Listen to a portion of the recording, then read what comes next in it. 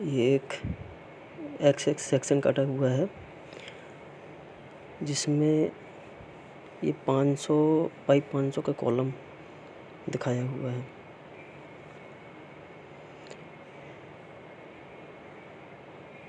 Column का size 500 by 500 है। ये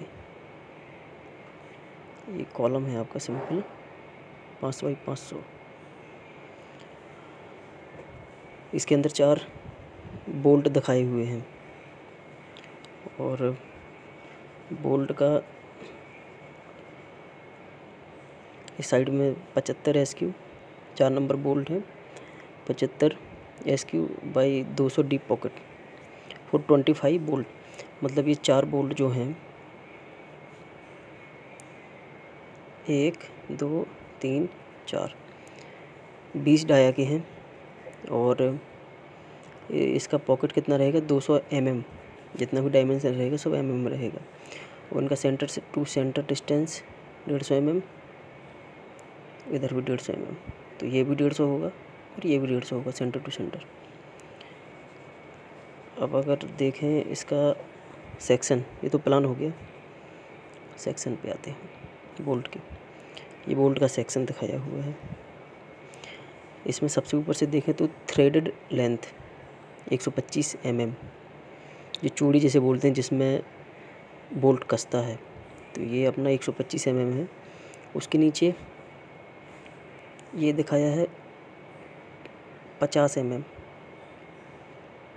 पचास एम एम ग्राउट ग्राउट करेंगे मतलब कंक्रीट से ना करके सिक्का ग्राउटिंग मटेरियल जो आता है, उससे ग्राउट करेंगे इसको पचास एम फिर और नीचे चलते हैं। तो ये पॉकेट पॉकेट दिखाया हुआ है। यहाँ से यहाँ तक पॉकेट रहेगा ये।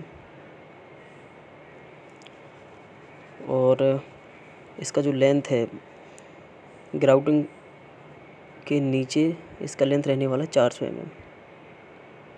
चार सौ एम एम। और नीचे आने पर ये सिक्सटी एस क्यू दस एम एम थिकनेस का ये कुछ, ये प्लेट रहेगा और उसके नीचे ये पच्चीस एम एम डेप्थ रहेगी। तो बोल्ट की डिटेलिंग है अब। अगर प्रैक्टिकली इसको देखें, ये उस प्लेट का थिकनेस लिखा है, दस एम एम थिकनेस रहेगा, ये जो प्लेट लगा हुआ है नीचे। अब अगर प्रैक्टिकली इसको देखें तो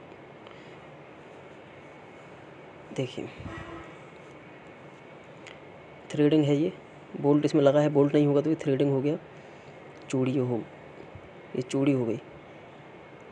इसके नीचे ये आपका पॉकेट हो गया। पॉकेट के बाद ये बोल्ट हो गया चार सौ। ये नीचे की प्लेट हो गई। और ये नीचे पच्चीस एम जो दिया है, नीचे का, ये पच्चीस एम हो गया। देखिए एक बार। पॉकेट, ये दस एम एम थिकनेस का प्लेट रहेगा। ये सबसे नीचे पच्चीस एम